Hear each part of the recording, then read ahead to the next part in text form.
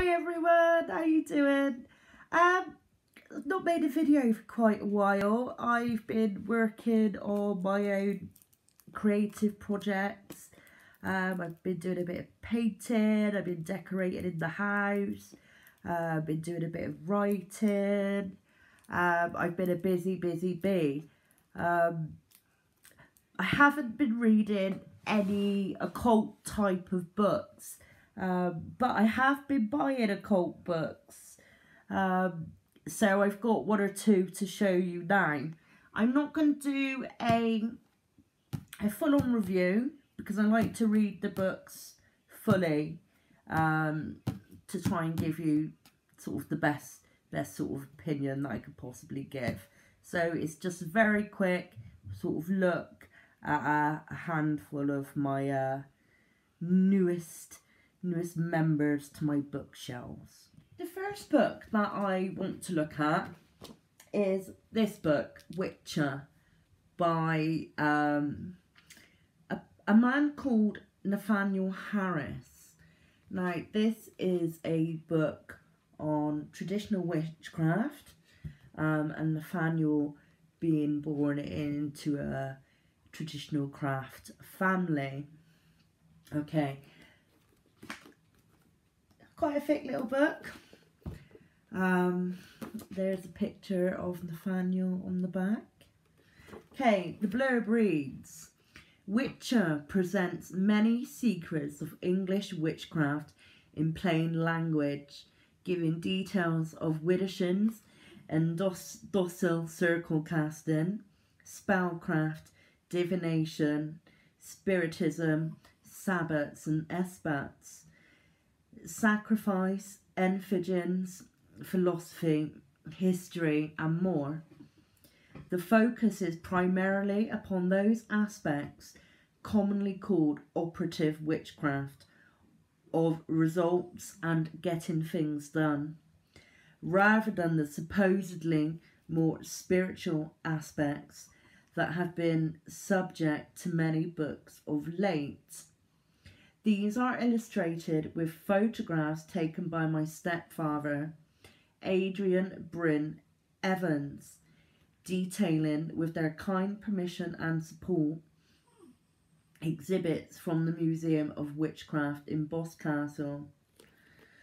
to the disappointment of those seeking a tradition to fall back on when they doubt their own judgment I have attempted instead to portray an attitude of spiritual freedom central to the craft. Some might even call it the witchcraft of the left-hand path. Nevertheless, members of our family continue to be of service to their community, as those witches were in generations before.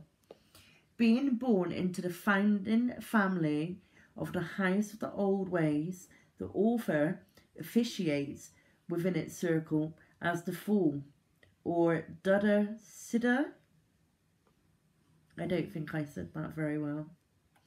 He remains a dedicated solo practitioner exploring more private disciplines of witchcraft and sorcery. He is also a tattooist, performance artist and illustrator. He lives in East Anglia, England with his part partner Jasmine DeVille and daughter Rose. So that's that book. Now this one I've seen some mixed reviews about. Um, I like to make up my own mind on books, you know. Um, it's got some nice images. That's a cool picture.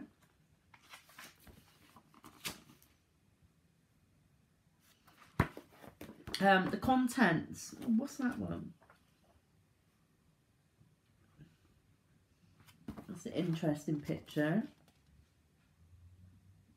I have no idea what that's supposed to be, but it looks good. I like the look of that. It's under the chapter of magical praxis. Okay, so we've got sort of in the contents very briefly Chapter 1, Witchcraft, then Dirty Work at the Crossroads, Thrice Bound, Tools of Cunning, the Pentagram, the Deosil Circle, Widdershins Circle, Sabbats, Witches' Runes, the New English Rune Poem, the Sacrament, the Sacrifice, the Baker's Dozen, the Power of Naming, Self Dedication, Fairy Blood, spelt with a P, Wild and Secret Places, Voices of the Ancestral Dead, Necromancy, The Persecution, uh, Where Sleeping Gods Lie, Magical Praxis, Arranging Coincidence, A Bag of Charms, Spells of Love and Sex, Spells of Persuasion and Control, Spells of Healing, of Protection, of Material Gain, um, Spells for Success, um, then we've got Maleficia, The Evil Eye, Divination, Automatic Writing and Drawing, The Art of Dreaming, Elemental Spirits and Bud Wills. I don't know what a Bud Will is, so I look forward to that. Spirit Forms from Nothing, Goethe, Familiars, The Art of Invocation, Atavistic Sorcery, The Call of the Horned One, Primordial Woman, Songs of the Old Religion, and then we've got Appendium, Which Country, Bibliography, and there's various photographs with exhibits from, of course, um, the author's own collection, and of course those from uh, the Museum of Witchcraft down in Boscastle. So I'm really looking forward to reading this one. This one might be um, on my reading list tonight at bedtime. The next book we have is called The Necromancers. Um, this is, I believe, a book of of essays written by various authors. Um, it says here that the editor here is Peter, is it Peter Haining? So he was the author of the book. Okay, the blurb reads A spine chilling collection of stories about an art as old and evil as the ages. Black magic. From the 16th century to the present day, contained in this anthology of the occult is a horrifying blend of fact and fiction covering the whole spectrum of black magic and witchcraft. Peter Haining's sources range through all literature and include virtually unknown pieces by Yeats and Aleister Crowley, essays by Robert Graves, extracts from Dennis Wheatley, Montague Summers, and E.F. Benson, The Salem Witches, The Black Masses of Louis XVI's Court, yes, sorry, 14th Court, and copies of actual pacts with the devil. The result is a fascinating, fascinating presentation of facts, a terrifying collection of fiction.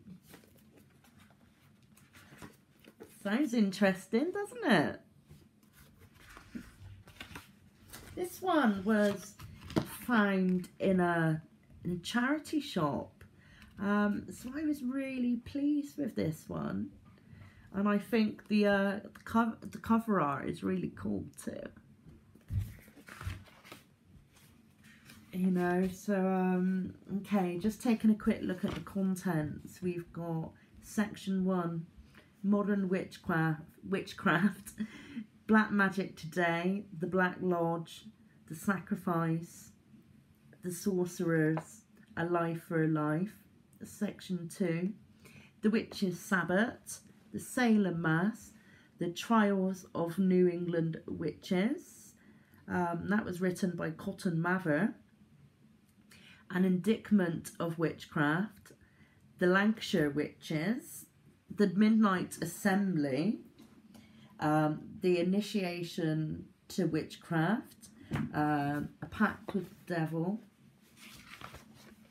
Section 3 is How to Raise a Spirit, The Black Coat of Brandenburg, um, and then it says My Experiences in Necromancies, The Necromancer and Gavon's Eve. Section 4 The Confessions of the Witches of Elfdale, The Witchfinders, The Witch Baiter, The Spell of Witchcraft, The Spell on Witchcraft Familiars, The Little Friend, and then Section 5 The Chamber of Ardente Affair, The Tarn of Sacrifice, The Hellfire Clubs, At the Heart of It, and Beelzebub. So, sounds fab, this book. The next book is The Golden Bough. Bow, bow, bow. I don't know how to say that word. I'm, I'm very tongue twisted today. It's probably because I'm thirsty. But anyway, The Golden Bow.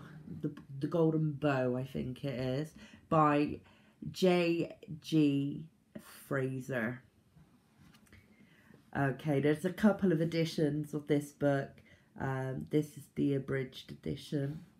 The blurb reads Sir James Frazer was born in 1854 and died in 1941. He went to the University of Glasgow and Trinity College, Cambridge, where he was elected to a fellowship of his college for life. His classical studies led to the publication of an annotated edition of Sallust, Catiline, and Jugurtha in 1884 and impelled him to begin work on the great edition of can't say these words Pausanias I'm sure somebody will correct me, which was to appear 14 years lately, approx- approximately enough. It was through the examination of a perplexing reference to ancient literature that he first established his worldwide fame. In an attempt to unravel two problems posed in the sixth book of the of, of the Aeneid, Aeneid which was written by Homer, Frazer found himself compelled to explore all those mysteries of religion, magic, superstition, mythology, and primitive custom, which are to varying extent of the heritage of every nation and every living being. The Golden Bough was the result. Now, I have to say, half of those words I know that I pronounced wrong. So I'm sorry, what can I do?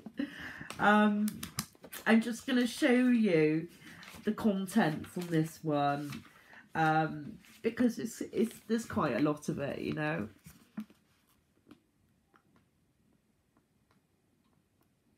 Hopefully I'm to leave the sort of pages showing long enough for you to to sort of get the drift.